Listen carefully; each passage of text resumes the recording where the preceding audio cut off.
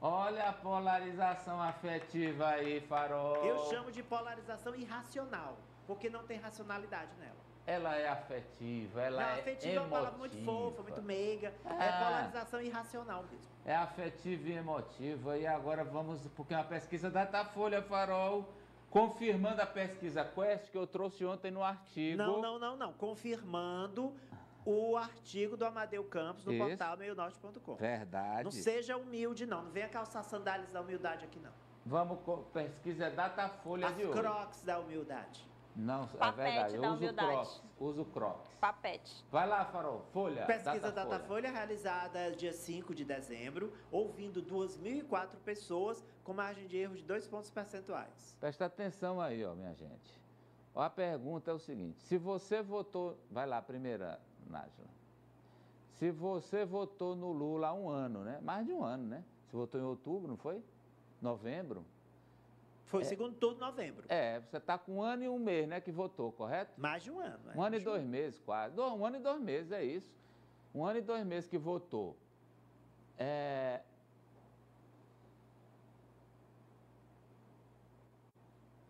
Ah, essa aí é outra. Ah, porque. Pronto, pronto. É a primeira parte. É que são duas partes. Sobre polarização política, Ari. Vamos lá. A primeira pergunta é a seguinte: Você se considera o quê? Petista ou bolsonarista? 30% se consideram petistas e 25% se consideram bolsonaristas. Você lembra que eu trouxe ontem, né? A metade do país está dentro dessa, dessa polarização afetiva. Não, é, há uma diferença aí. É, é, petista mesmo.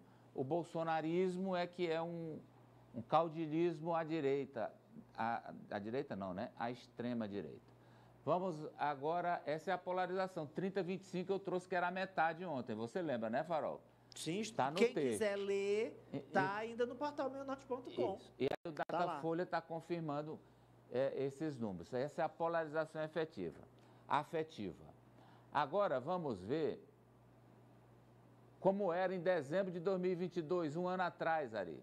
32% se consideravam petistas e 25% bolsonaristas. Um ano depois, nada mudou. Um ano depois, nada mudou. Agora, sobre o voto. A pergunta é: você que votou no Bolsonaro, você se arrepende? Você escolheria outro? Olha aí, vai, Ari. 91% disseram: escolhi o melhor candidato e não me arrependo de ter votado. 91. 7% disseram: não escolhi o melhor candidato e me arrependo do meu voto. Sete. E 2% não souberam responder. Agora, entre os eleitores de Lula, como está a calcificação, Farol? Entre os que votaram no Lula. Para 90%, eles votaram no melhor candidato e não se arrependem. O mesmo percentual, dentro da margem de erro, o mesmo percentual do Bolsonaro, 90%. E 9% disseram que não escolheram o melhor candidato e se arrependem do voto. Nesses 9% estão nosso colega Silas Freire. Uhum. E 1% não sabem.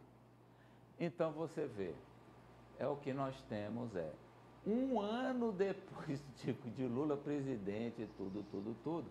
Se fosse a eleição, teríamos basicamente a mesma votação. É um negócio, é a calcificação dessa polarização afetiva. Não tem jeito, Apoliana. É a comprovação de que a gente está meio que lascado, né? Nossa. É aquele looping que eu falei ontem no artigo. É, porque assim, é como o Ari disse, essa polarização, ela na maioria dos casos não tem muita razão de ser. São pessoas que são apaixonadas, decidiram escolher um lado, nem, não necessariamente elas sabem por que, que elas estão deste lado, e eu não vejo a classe política colaborando para a redução Mudar. dessa polarização, polarização. Pelo contrário, ela está muito mais interessada em que esses dois lados se calcifiquem como os antagônicos no nosso país e eu acho que vai ficar assim por muito tempo. Agora, a questão é representação. Vai mudar? Não vai mudar? Lula, até quando ele vai continuar com essa representação? Bolsonaro essa sustentação de representação dele permanece até a próxima eleição? Eu acredito que sim, eu sei que você vai falar. Eu acredito que sim, mas aí como é que fica? Novos líderes a gente vai ter ou a gente vai ficar sempre batendo na mesma tecla Lula e Bolsonaro? O seguinte. Eles não são eternos, né? Isso aí é tipo a, a France. Eu fiz analogia ontem como o Fla-Flu. Em 2019 o Flamengo ganhou tudo.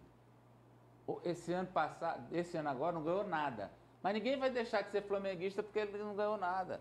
Isso. Antigamente, Amadeu, nós falávamos de que a economia era preponderante para a definição de um candidato isso. na majoritária. Mas nos últimos anos isso vem mudando, porque independente do que aconteça em âmbito econômico, tem uma parcela significativa do eleitorado que vai votar naquele candidato independente de qualquer fator, independente se a vida melhorou ou não, se a vida piorou ou não, e isso representa muito esses dados apresentados. Fica difícil imaginar uma fuga dessa polarização já para a próxima eleição, porque ela é alimentada tanto por Lula quanto por Bolsonaro. Para eles é interessante que essa polarização se mantenha.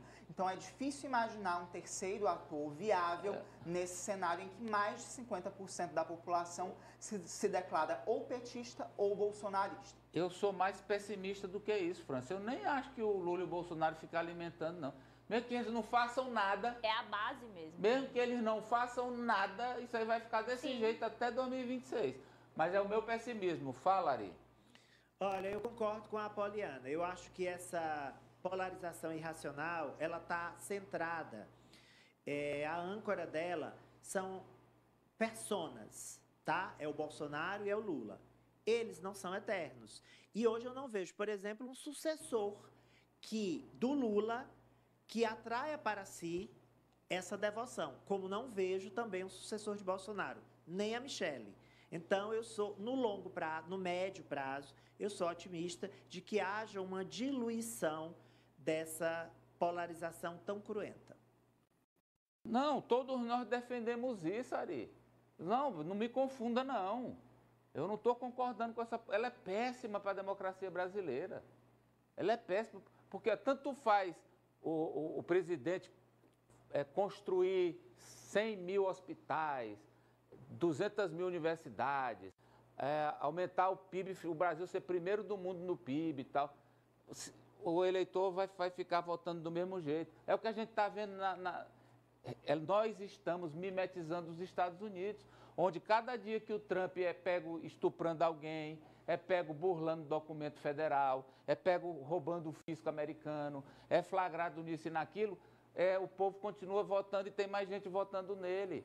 Quer dizer, não interessa o que eles fazem. O que está valendo é a afetividade. Por isso, é afetiva e ela é emocional. Não, claro. É como eu, uns, o que eu é, disse é, é, que eu considero que ela é datada. É porque como uma devoção. eles têm é como uma devoção. Um limite de vida, né? Então eu acho que ela é datada porque elas se concentram em duas grandes personalidades do ponto de vista político que eu estou falando, né? Não é fazendo juízo de valor de quem está certo ou errado. É, sempre foi o grande problema do Lula, até mesmo naquela eleição do Haddad, né? Quando ele foi, acabou sendo preso, ele não tinha alguém já trabalhado pelo Partido dos Trabalhadores e pelo próprio Lula como um possível herdeiro político. E a gente viu no que que deu precisou Lula voltar para que o PT retomasse o governo. Não, olha, bem aqui, ó, Amadeu. Lembra que eu falei lá em 19, não falei, Ari? Falou aqui na banca de sapateiro, Vamos na rádio. Lá. Olha aqui, ó. Se o candidato, porque o Bolsonaro está inelegível, se ele ficar inelegível, o Lula vai ser reeleito. O que eu estou dizendo aqui é dia 19 de 12 de 23. Se o Bolsonaro não for o adversário do Lula, o Lula vai ser reeleito. Se for contra a Michele, ainda vai ter graça a eleição. Se for qualquer outro nome da direita, qualquer outro, vai ser um passeio e o Lula vai ser reeleito. Ponto. Me cobrem daqui a três anos. Tempo e. Nós vamos para onde, Nájila Alves? Ao banheiro. Restaurante Sítio Mirante do Lago. Um lugar incrível, cercado de muita natureza e tranquilidade. Traga a família e amigos para momentos de puro prazer. Garanta o lazer na piscina, nas piscinas, né? Tem adulto infantil. Lá no lago, que tem o pesque pague, aquele passeio aí da criançada nos animais.